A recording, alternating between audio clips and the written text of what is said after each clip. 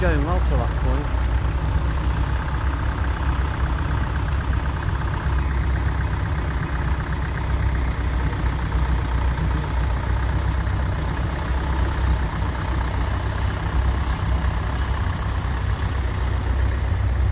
Are you at uh, Whitchurch next week?